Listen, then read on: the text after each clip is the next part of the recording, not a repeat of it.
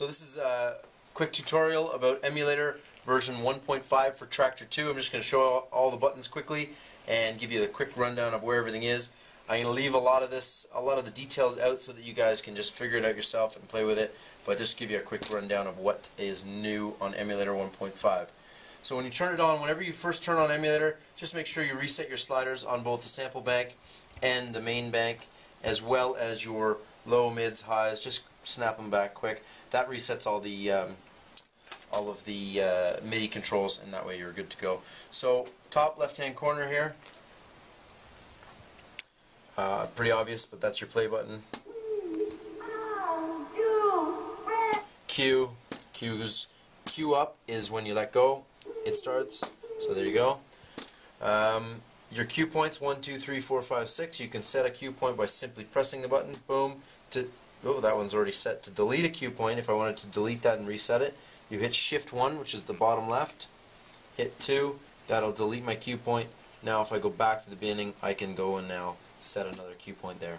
Okay, so shift one plus your cue points deletes your cue points, and just hitting the cue point starts it.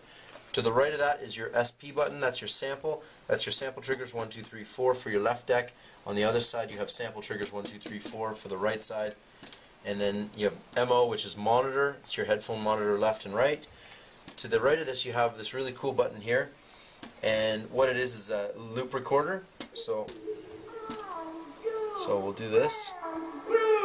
And it's recording loop and you can hit it again. Now be careful, the volume doubles every time because it's, see now, my master's not playing anymore, it's just the loop recorder. Okay? So there you go, and you can delete that with that, and there's your volume on that. Just be careful when you are recording that, it goes really, really hot quickly. Okay, so um, SE, that this SE button here is choosing where it's the loop recorder is recording from, main, cue, external, or auxiliary. You can actually record your voice saying, you know, hey, everybody. Uh, just to the top here, I just want to just show you something quick here. If you hit the emulator logo, if the logo faces the crowd, that's cool. But right below it, there's a CPU button. If you're finding any audio lags or your computer's running a bit slow, hit the CPU button and you'll notice it gets rid of the extra lines underneath the faders.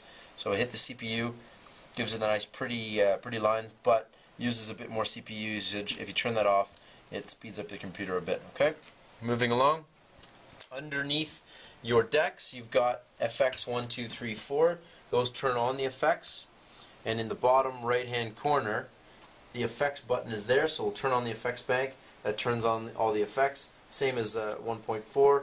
You can fiddle around with all your effects. You can go into Traktor and set all of these as you want.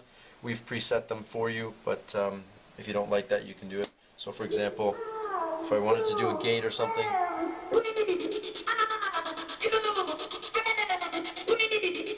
okay? Now, people are asking me how do I set a, cue, uh, a sample? Sample is very simple. So what you want to do is you want to set a loop. So let's say a four, four bar loop. And then once you have a loop set,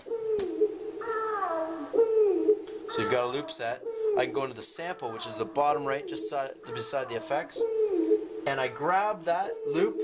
So I just grab the title, simply drop it into my effects bank. And now, when I press play, it should be. So there you go. So if I hit stop there, and that'll just keep looping. You can have it set to do just a one shot, so if I do it from up here, so you can actually have it like this, and I'm playing the song.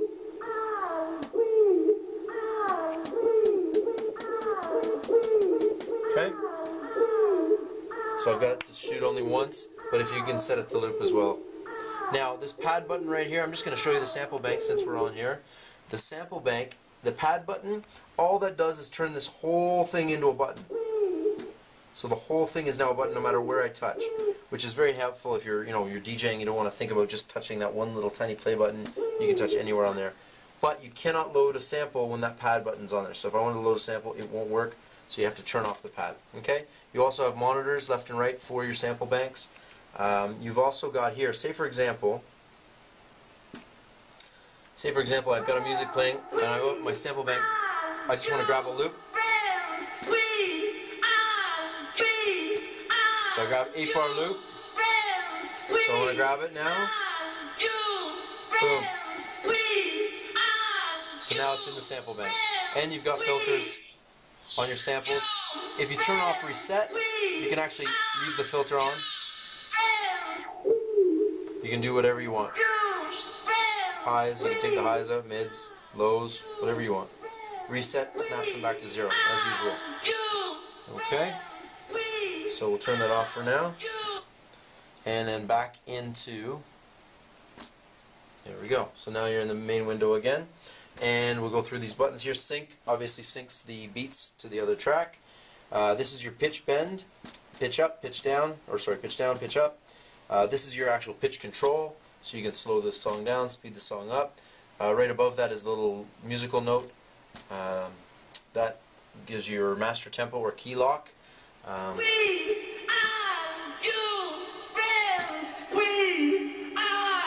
you're, you're change there, but if I leave master tempo on,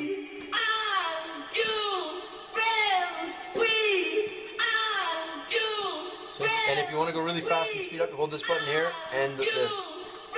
You can go really fast.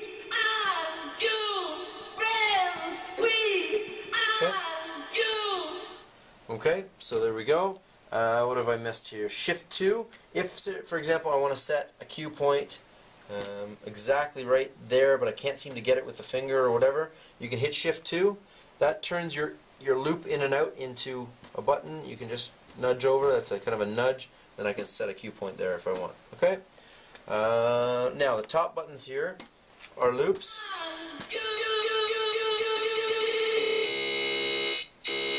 Those are your loops. There's your loops. Loop out.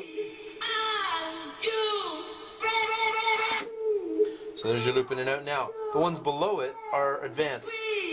And if you hit shift 1 and back, you go back 8 bars.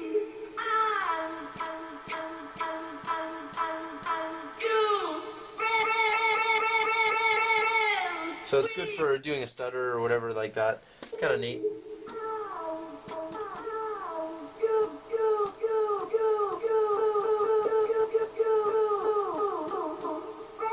Just good for a stutter, or something like that. Uh, okay, so that's pretty much all the buttons on the main page. Uh, the middle button, as usual, is your is your track selection. Now, here's something cool we just added. If you go to the letter A here and press it on your A deck, it brings up this really cool platter. And the platter is used for a number of things. Uh, one of them, when the, when the track selection window is open, you can scroll your tracks. And when you find the one you want, you can actually load it directly from this button here, this little arrow, and it'll load it right into the non-playing deck.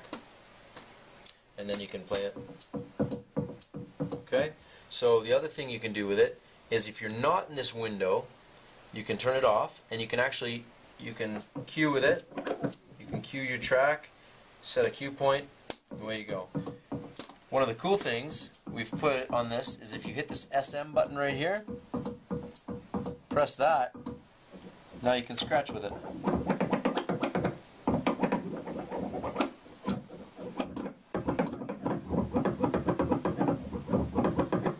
It takes a while to get used to, but with some practice you get used to it. Now up in the top hand corner here you've got SE. This button here is a selection between low, moderate, and ultra and that's how fast the release is. So if you notice if I go to moderate it'll still spin a little bit and if I go to ultra it'll spin a lot. And it, with the scratch feature see? There you go. It always goes back to the beat.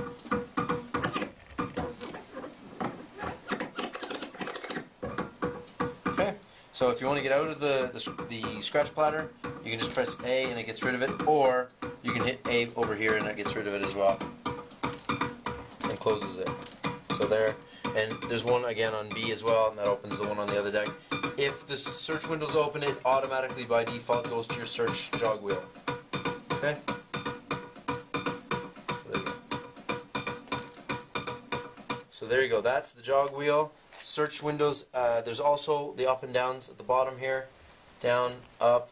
Um, you can actually just load a track by pressing the arrow, or as always, you can drag, drag and drop a track on there.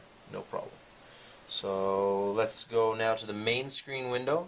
If you hit the main button, that's your main volume, your headphone volume, and how much mix is in your headphones. Uh, we've put the crossfader button in here. If people want to use it, it's in the main volume now. And CRU is cruise. That's mainly for putting on background music and letting it play itself. Um, and the crossfader is uh, oh, there's three arrows. Be careful of this. The arrows on either side are a snap, left and right. So if you snap that there, it stays to the right. Now, if you snap to the middle, it stays in the middle. But say, for example, I have it snapped left, and I pull it all the way over, it'll actually keep snapping to the left.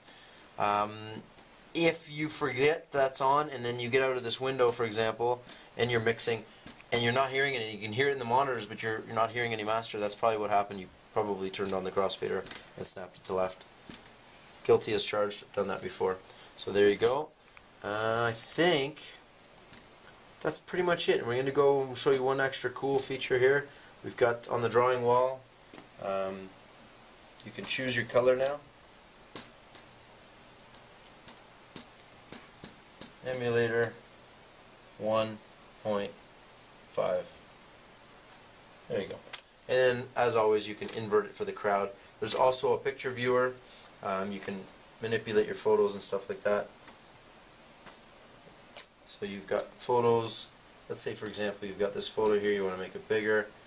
You want to put these ones in behind. You can do anything you want with it. You can say, for example, you want to put this up here, and it's your, you know, your DJ logo, like mine there. And then you want to invert it for the crowd to see. Just hit invert, and the crowd can see it now.